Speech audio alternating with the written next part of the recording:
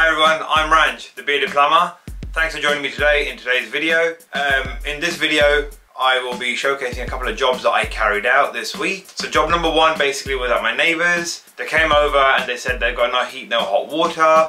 The boiler is actually under contract with one of the energy providers or yeah, service providers here in the Netherlands. But however, their service is quite slow.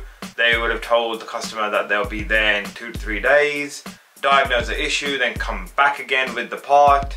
Um, so therefore my neighbor was like, look Ranj, can you just come and sort it out because you'll sort it out literally straight away. So in this video, and I will show you how I diagnosed exactly which part was faulty. Then the other bigger job in this video is a heating system that I've been maintaining for the last couple of years with a previous customer. And now that the house is sold on, the new customer asked me to come in, do a service, and he mentioned that his hot water wasn't as hot as he hoped or expected and that's because there was obviously installation error which I will showcase in the video as well of how I proved what the issue was and what I did to resolve it. And also the radiators um, two of the radiators in the property were plumbed up incorrectly as in the flow and returns were reversed. And again I show how I proved to the customer what work needed to be done and how I did it and then what the end result was and also I show how to use and set up your Testo 115i uh, thermometers, you know the clamp meters that you can get. I recently purchased them and I think they're fantastic. The reason why I really enjoy using them now, I use them almost on every job where I must, is just that it helps with your fault finding and diagnostics skills and also because it is digital and you can show it on your mobile phone, you can show it to the customer and the customer can see also what you are trying to explain to them. It just makes fault finding and explaining the situation easier. So yeah, that's what I did in this video. So these are the main jobs that I'll be showcasing in this video. And yeah, let's get on with it.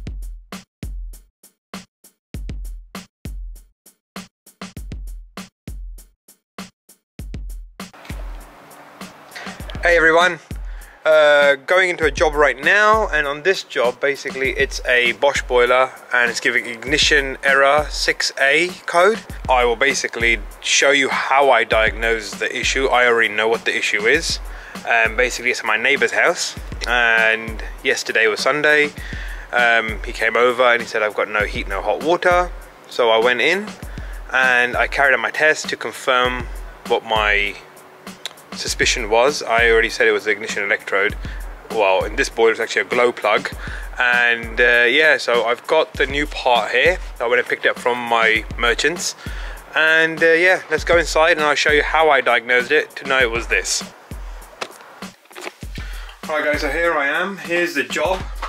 Um, as you can see, it's a Nefit Bosch boiler, smart line. Um, I've already switched it off, but okay, well let's turn it back on. And let's just run through the process of what it does. So obviously 21 is the temperature of the flow right now. It's on preheat mode and then obviously the heating one comes on as well. And obviously these are the guys that, as you know, do the maintenance on this one. But the customers asked me to come and repair the boiler just because I'm quicker um, these guys will probably take a while to come out to them. And uh, yeah, so apparently their service is probably due anyway uh, on the 12th of this year. So yeah, let's just wait. Right, now it's going to try to fire up. Okay, here it goes. So pumps on, fans on. Should be firing up right now there you go, 6A. So 6A basically means no ignition, so it's all gas related, ignition related. So yeah, let's get the cover off and show you what to do next, or what I did next. So cover's off, and I yesterday took out the condenser bottle. I already checked it to make sure that was all clear. That's completely clear. I then put my manometer, uh, yeah, my digital Testo 510 on the inlet pressure and it did drop when the boiler tried to fire up so therefore that was all good. Gas valve was opening up. And now this one here is the glow, glow plug. Uh, where is it? Here it is. So when I picked this up this morning, in my bearded hot rod, I keep this in stock normally, but the different, uh, slightly different version. This one, as you can see, the rubber is actually attached to the glow plug to make sure it's a gas tight seal, and the one that I carry is slightly different, and it wouldn't create a gas tight seal. And this is a glow plug, it's not an ignition electrode, so this filament in the middle, as you can see, it glows bright orange when it's working. And let me show you how I tested using my multimeter to confirm that was the fault. Let me show you what I did. I'm going to, for now, we'll reset in a minute. Let me get my multimeter out. Obviously, as you know, I carry my Regan One Touch with the Fluke leads. They're my favorite leads. Turn it on. Right, I can put that up there just to show you. So, just to confirm, I didn't actually look at the boiler manual for this boiler. It's pretty straightforward, I know what I'm doing. Um, the only reason why I knew what I was testing for is that on the glow plug cable itself, it reads, it says 120 volts DC is what's expected. So on the new one I can show you. There you go, Ooh, where it focuses, there you go. So you see, 120 volts written there. Um, yeah, 120 volts. So because 120 volts is needed to heat this thing up, the glow plug, I just basically put my multimeter at the cables and checked for what voltage was I getting. That is the PCB actually sending out the correct voltage.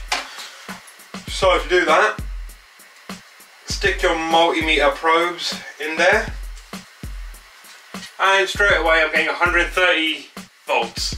Let me see if I can bring that closer to you guys. There you go, 132 volts. Which therefore proves that power is going to the glow plug, but the glow plug is not opening up. And then, just to show you what the glow plug looks like, if you plug it in, I reset. It's going to take a few seconds now, well, about a minute or so, to obviously do its reset cycle. Pump's going to kick in. Okay, there we go. There you go. You see? It's glowing.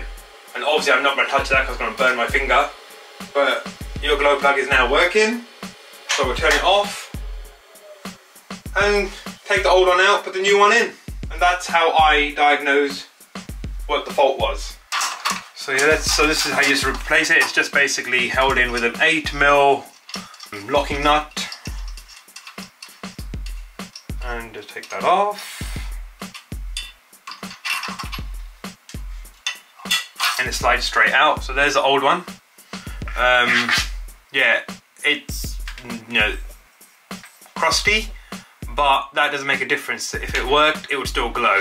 Um, so just like I said, that the one that I have in my van, this red silicone bung is not physically attached to the glow plug, um, and therefore I've tried it once before where I thought I could use what I have in my van in one of these boilers and I remember it um, wasn't making a gas tight seal and it was spilling gas out of the boiler heat exchanger so therefore I had to come back with the correct one. So yeah let's put the right one in. So a new one goes in. And I believe it can only go in one way. Yeah it can only go in one way. This has got this groove this slot thing and that only allows it to face one way. And that goes into there so he says. That's in and snug and tight. Perfect. I'm now to put this back on.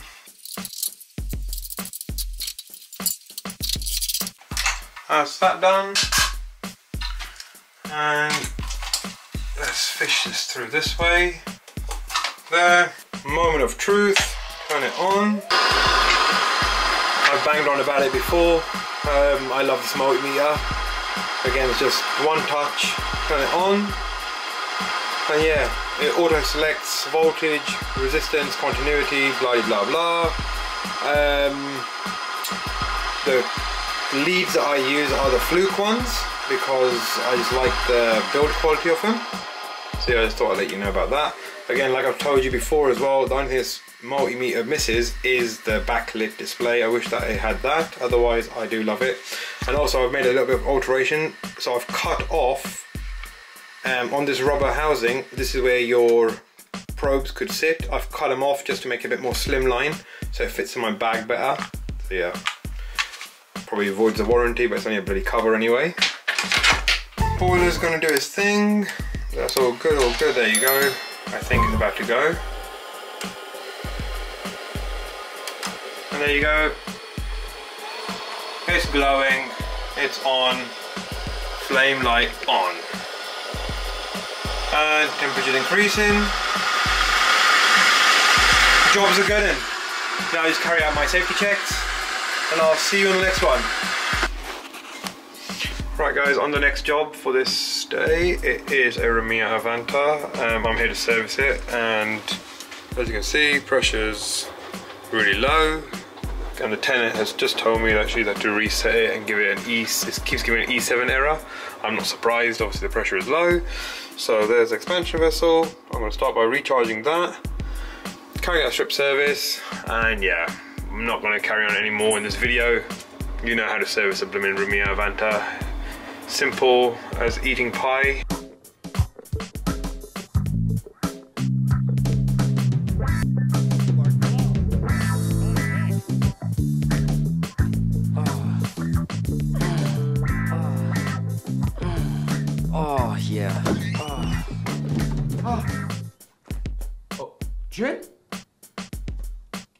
It's not what it looks like.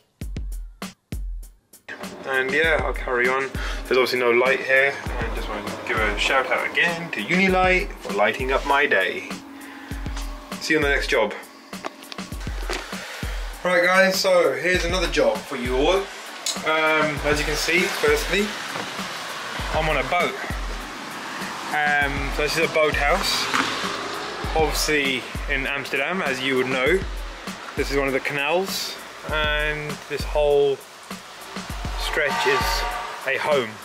And basically why I'm here is because last week I serviced the boiler, um, which is over here as well.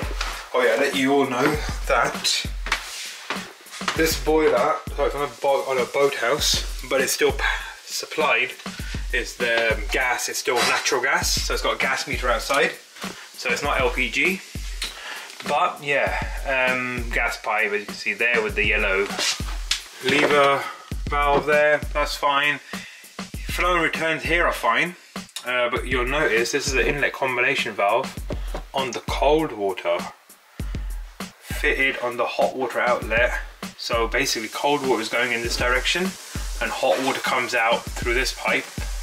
So although the water gets hot, what I noticed was that obviously because the way the plate heat exchanger works is that obviously the cold water in is supposed to travel opposite to the flow of the heating circuit um, so that there's a better heat transfer.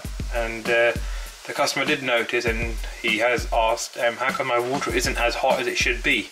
And I was like that's because obviously to the previous owner I already told him that we need to do this alteration. He never got around to doing it and sold the house on. But basically this cold water pipe I'm gonna just like you know cut it up there go across and connect it here then take the hot to the other side. Hot water will obviously be better once this is done. And what I'd also noticed that these radiators don't get hot fully. This one here and this one here and that's because let me get down here. As you can see the flow is on the right and then the return is on the left. However, that's the flow. This pipe gets hotter than this one first. So that's flow and that's return. And then on this side, this one's got the return arrow and this one's got the flow arrow. And however, this one's the return, that's the flow. So because the valves don't work in the right direction, the radiator don't get hot or as quick as hot as they should do. So therefore I'm going to drain the heating circuit down as well and remove this foot valve, put it on the other radiator and the other radiator put it here. So yeah, that's uh, this job for now. So just to prove um, how they get hot, obviously you can do a touch test, but I've gone and invested in the Testo 5115 eyes and basically go to the app, which is here, the Testo app, and then you just turn them on. It'll flash orange light. And there you go. So straight away you see the phone's picked them up. Um, this one is a 917 so 917 there. I'll put that on one of them. Like this. And I'm probably teaching you all to suck eggs. But yeah this one goes here can get my hand open there you go okay so I want to now fire the heating up and we'll see the and returns how they uh, change in temperature so I've just turned the heating on and always, you know, customers make me coffee. I'm never gonna say no to a decent cup of coffee, that's for sure. I can sit there. Right, so heating has been turned on. So, as you can see, one of them has started to increase, which is the number, the bottom one, which is the thermometer 549. And number 549 is this one here. This one's 549. So it's got 549 right on the side there. So 549 is getting hot. And as I said, look at the arrow, so that's on the return. So that's wrong. So I'm gonna swap this foot valve around. And now, onto this side. Uh, this one is 917. I'll put that on this one here. And 549 on this one here. Get my phone. And now let's see what's happening. So again, 549 is getting hotter quicker, which is the left one. But again, the arrow is on the return. So as you can see, this is where the mistakes happened. So I'm going to change this foot valve, this piece here, and put it on that rad, and that one from there, put it over here. Yeah, that's the job. This is how I proved to the customer that it was wrong, because I showed him my phone with the clamps set on, the pipe work, and obviously this makes you know fault finding easier and explain to customers what's going on a bit easier as well. So I'm draining the system down right now. I've opened up the bleed vents. This rad's empty, that rad's empty. I'm gonna now just, you know, undo these connections here and get it going. So yeah, tools for the job, just my Bahco spanner and Knipex grips. Undo these.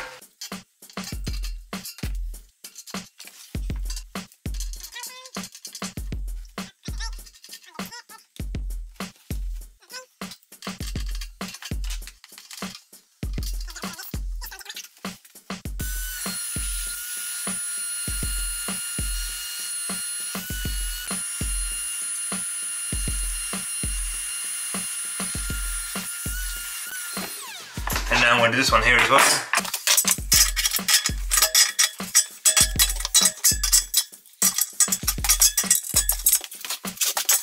So as you can see, this foot valve is completely different to the other one. So it's not going to be a matter of just swapping the foot valve around. I'm going to have to get the union out as well. But that's fine. That's just how the cookie crumbles.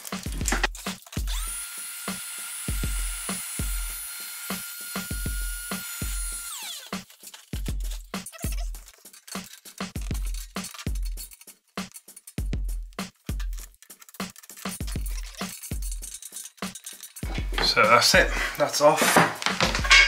So basically, this is fit like this with the flow on the outside. And now I'm gonna be able to put this one like so, and now the flow is on the inside. And then this one will go on the other radiator and it'll sort that one out as well. And as you all know, this is where I keep all my Allen key bits. They're all there. Um, I need to start a size 8. There you go, size 8. Onto my Wera Mini Zyklop. And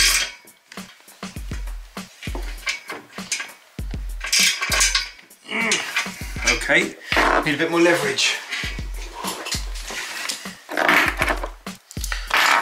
And for a bit more leverage, I'm going to use my Zyklop, the 8000 series or whatever. Okay. Nice, done.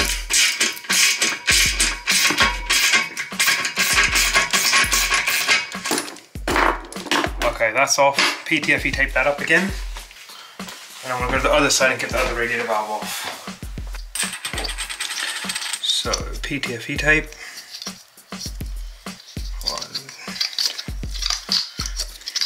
And just to let you all know, this is uh, approved for gas as well. So that's why I've only given it, given it four turns.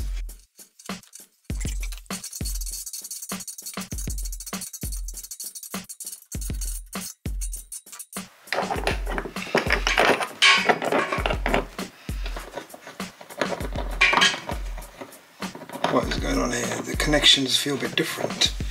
Hmm. No, it's a different thread. Okay. Luckily, there's plenty of pipe and some slack, so I can remove these. I'm gonna go to the van and check what I have. So what's to happen is that this fitting, because it's not a standard one that I carry, and these connections are like dedicated for this. Um, I don't have these in the van. Um, what I do have in the van, however, is a new foot valve. So as you can see, it's the same. Arrows are in the right, in the same direction. So it worked out well. I will put this one. So this was obviously supposed to go on the other radiator, but I'll use this one instead. And I have extra, the correct unions for this foot valve now that doesn't fit to this, so I'll cut these off and just put this on.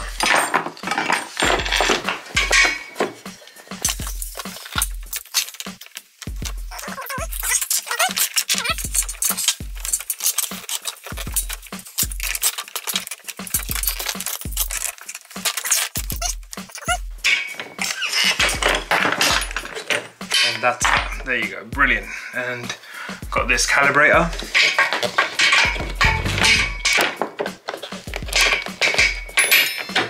Okay, new nut, new olive, and the new insert. Perfect. And here's the other one.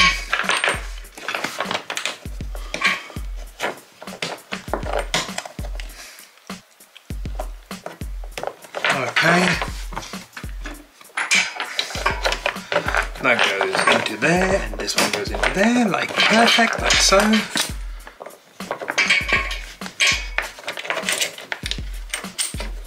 that tightens there. And there we have it. Make sure that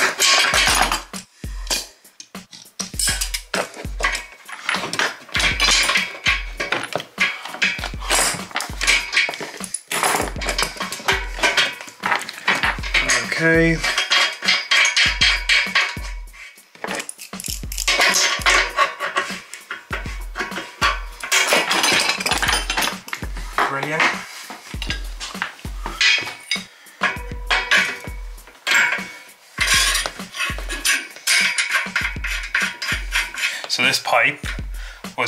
This valve on the other radiator, so because it's the same length, the copper pipe is going to fit perfectly flush again.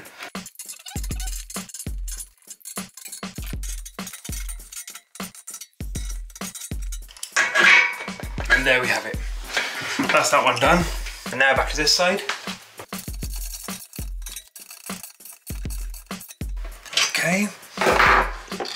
Nice and snug.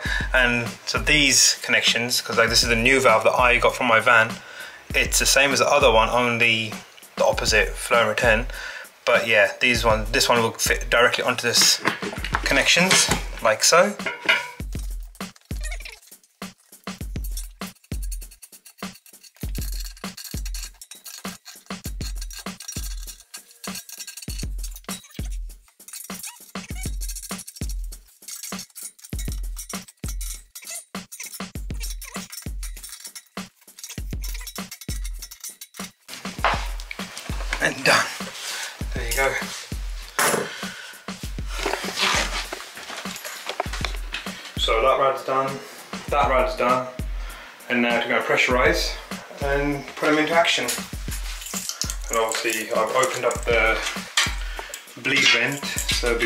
I start filling, let's close that off.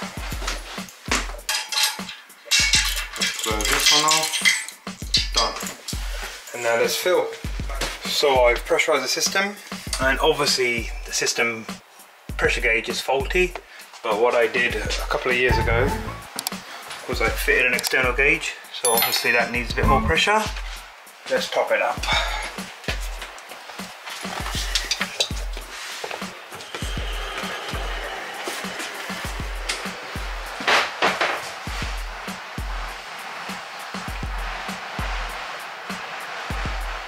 To about 1.4 and that'll be good. We're at one bar. More than sufficient for this boiler to work. But let's just take it to 1.4. Almost there. Perfect, 1.4. Let's just isolate down here. Isolate this over here. That's done.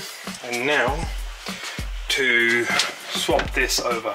So what I want to do, I want to cut this pipe here, elbow across and do this bit here as well. So let's go outside. Because outside is where the stock tap is.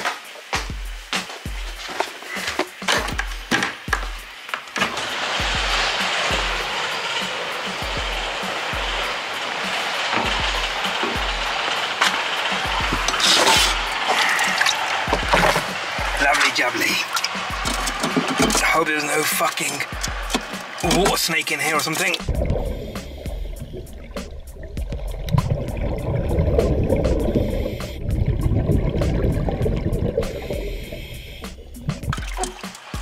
Right, that's off.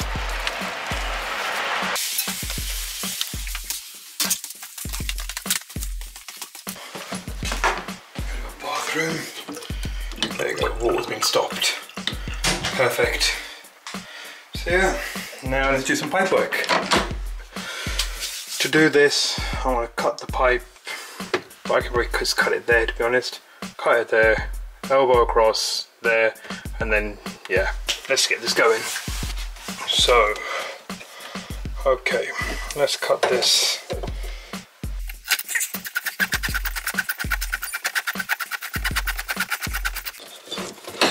So, that's cut there and this one can get cut here. Put that out of the way.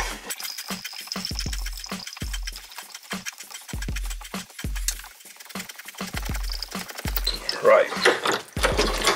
Okay cool. So because MLCP I can bend it to sort of where I want like so. That's good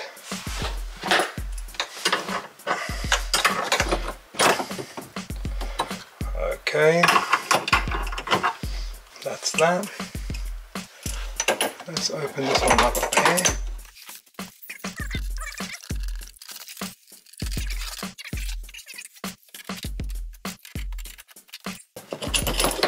Perfect.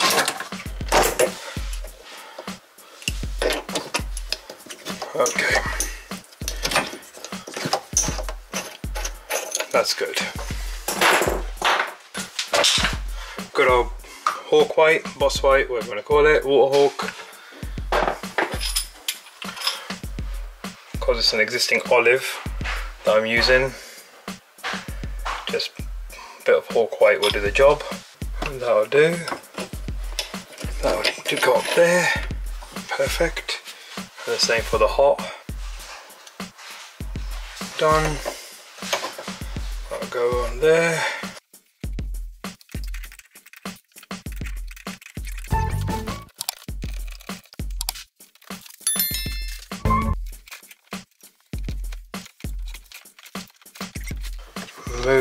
Hot like so. Gas is still accessible from behind, so that's fine. And just put straight two straight joints, that's that done. Let's go get some copper fittings out the van. So a bit of steel wool. Flux. Straight coupler. Onto there, onto there. Grip it with some grips. Yeah, my cutters need a bit of TLC. I haven't used these. This particular one is just like a rough cutter that just keeps my drain down bucket. I need to probably get some WD-40 on that. Again, steel wool, cleany cleany, flux.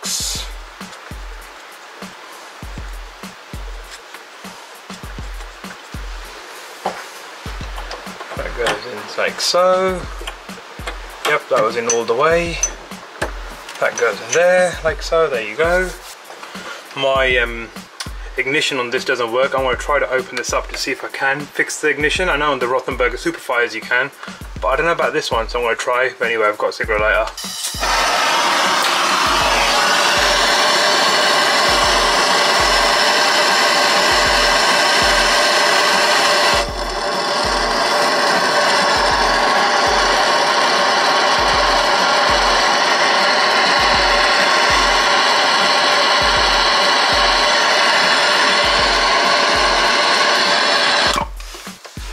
One done.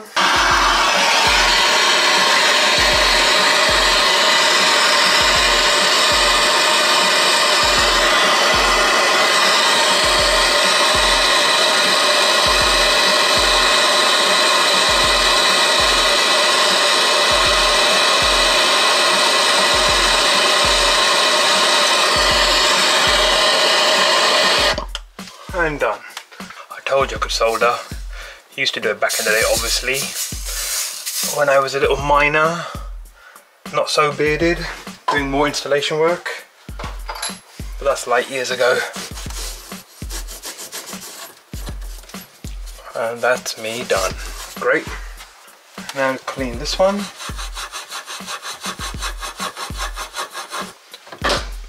And fuck bending, I'm just gonna seriously just send that something like so. Nah, it needs a bend. It does need a bend. I thought I could get away with it, but no, it's not gonna look as good. I'm just gonna pop to the van and bend this. And I'll so I just went to the van, gave it a little offset. Try to keep the work a little bit neat. At least try. Move this cable out the way so I don't singe it. Bit of solder, flux on these connections. Okay. DO, that's great. Like so.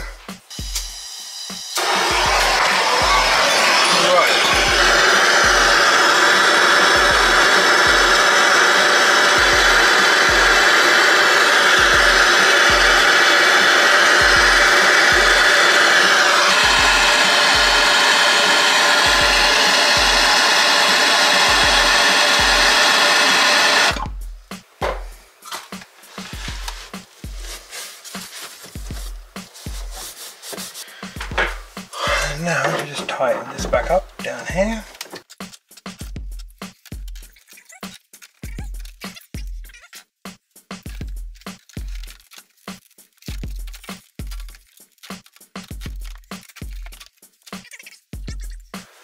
Let's go and turn the water back on.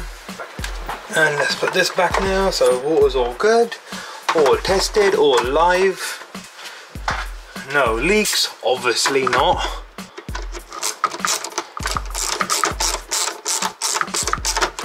And that's that. And yeah, there's a pipe that I've just sorted. Basically, like I said, this is the cold pipe here, and it was going into the hot outlet. So although the water was still coming hot, it was not as hot as it should be because as you know, a plate heat exchange, so the cold goes cold in this direction and comes out hot, and the flow is here and that's the return. So it's more, for, for heat exchangers to work, you need to basically have cross flow. So in opposite directions, so you get better heat exchange, hence why it's called a heat exchanger. Um, and yeah, that's why I've done this. So just a bit of pipe work, that's done. Up here, this is all live. Obviously I've checked that, there's no leaks. That's working, that's working. I'm to, with my Testo um, 115i's thermometers, I'll just test that one out just to show you that it works and that my work obviously solved the issue. There you go, 549's live. Clamp that on what I believe is the return. So now, what I'm expecting is number 917 to increase in temperature a lot higher than sensor 549. Right, and as you can see, temperature is increasing. Flow is definitely getting hot now. So this was flow, don't forget. Number 917, this probe is flow with the arrow going into the radiator. And as you can see, that's the one that's increasing now. Perfect. So yeah, I'll give it about five minutes and then I'll balance the radiator, make sure it's all getting hot. Just check this one. Yep, this one's also getting hot now. Perfect. Yep, this one's hot. This is with the arrow in. So that's right as well. Great. See you on the next job, guys. Right guys, thanks for watching this video. I hope you found it interesting um, and see my thought process in action, how I do what I do. Um, and as you know, all the tools that I use in my video are on my Amazon web shop. The link is in the description below. If you're stuck with anything, you know, feel free to drop me a message. Um, a comment down below will help. Or you can also you know, contact me via Instagram. My phone number is also at the end of the video.